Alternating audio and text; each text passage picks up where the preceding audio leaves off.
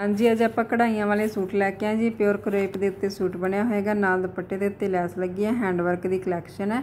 ਇਹ tabby silk ਦਾ sharara suit ਆਏਗਾ ਨਾਲ ਔਰਗੈਂਜ਼ਾ ਦਾ ਦੁਪੱਟਾ ਤੇ ਇਹ ਜਾਰਜਟ ਦਾ ਸੂਟ ਆਏਗਾ ਜੀ। ਨਾਲ ਪਾਕਿਸਤਾਨੀ ਦੁਪੱਟਾ ਆਏਗਾ।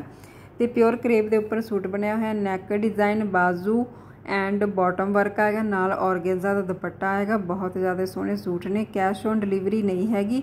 ਇਹ ਵਿਸਕੋਸ ਔਰਗੈਂਜ਼ਾ ਦੇ ਉੱਤੇ ਸੂਟ ਬਣਿਆ ਹੋਇਆ ਜੀ, ਬਹੁਤ ਹੀ ਜ਼ਿਆਦਾ ਸੋਹਣਾ ਇਹ ਪਿਓਰ ਕਰੇਪ ਦੇ ਉੱਪਰ ਸੂਟ ਬਣੇ ਨੇ, ਨਾਲ ਦੁਪੱਟੇ ਬਹੁਤ ਜ਼ਿਆਦਾ ਸੋਹਣੇ ਬਣੇ ਨੇ।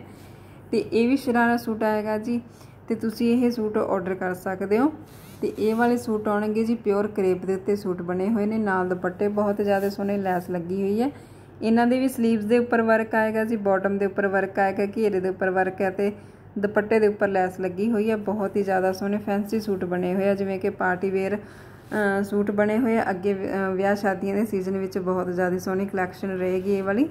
ਤੇ ਕੈਸ਼ ਔਨ ਡਿਲੀਵਰੀ ਨਹੀਂ ਹੈਗੀ, ਆਪਣੇ ਪੇ ਤੇ ਪੇਮੈਂਟ ਪਹਿਲਾਂ ਕਰਨੀ ਪੈਂਦੀ ਹੈ, ਇਸ ਲਈ ਤੁਸੀਂ ਸੂਟ ਦਾ ਸਕਰੀਨਸ਼ਾਟ ਲੈ ਕੇ ਮੇਰੇ WhatsApp ਨੰਬਰ ਤੇ ਸੈਂਡ ਕਰ ਸਕਦੇ ਹੋ। ਬਹੁਤ ਹੀ ਜ਼ਿਆਦਾ ਸੋਹਣੇ ਸੂਟ ਨੇ ਹੈਂਡ ਵਰਕ ਦੇ। Thank you so much